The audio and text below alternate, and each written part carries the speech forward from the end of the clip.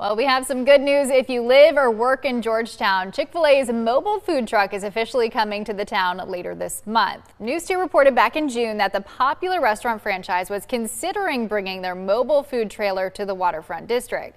After key approvals from Georgetown City Council over the summer, that plan is becoming a reality.